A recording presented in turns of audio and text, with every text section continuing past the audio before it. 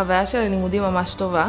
אני פוגשת אחיות מאוד ותיקות עם ידע מאוד מאוד מאוד רחב, וזה מדהים בשבילי. המרצים אצלנו בתואר הם הטובים בתחומם, הם מגיעים גם מהשטח הקליני וגם מהשטח האקדמי. המרצים מכירים אותי בשם שלי, הם יודעים מי אני, הם אה, מקצועיים, שזה סופר חשוב בתחום שלנו. העולם היום הולך לעולם של הייטק, של דיגיטל, של הרבה מאוד רובוטיקה. דווקא המקצועות של מגע, של תקשורת, של טיפול, של אה, יחס חם אה, לאנשים שזקוקים למטפלים, הוא עולם שהולך ומתפתח בצורה מדהימה, והמקצוע שלנו הוא מקצוע שנותן הרבה מאוד אפשרויות לכל מי שמגיע אלינו, גם לרכוש את ההשכלה וגם אחר כך לפתוח את כל הקריירה והעתיד לטיפול באנשים גם בריאים וגם חולים. אחד מהדברים שהכי עוזר לי בתואר זה הסימולציות. לרשות הסטודנטים עומד מרכז סימולציה חדשני עם הרבה מאוד אבזור שהוא top of the line. תמיד אהבתי את מרכז הסימולציות בלימודים, שנתן לי להרגיש קצת את המציאות.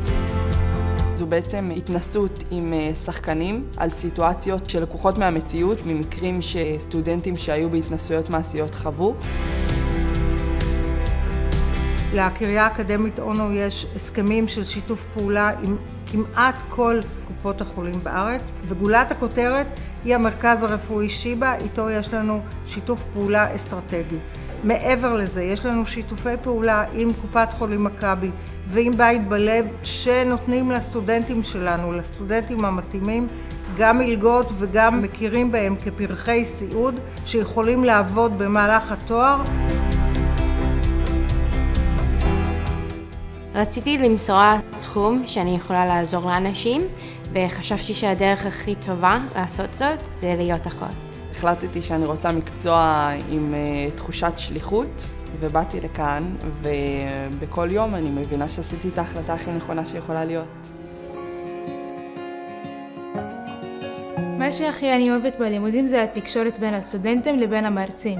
יש כאן אה, מכרה זהב אנושי של אה, יחסי אנוש טובים, סטודנטים שהם אה, חברים אחד לשני, וקשרים שאפשר לפתח פה שיש להם אה, ערך מדהים. אני מאוד מאוד מתחברת לערכים פה של הרב-תרבותיות, להיתקל בסטודנטים מתרבויות שונות, זה ערכים שגדלתי עליהם בבית ואני שמחה לראות את זה גם פה.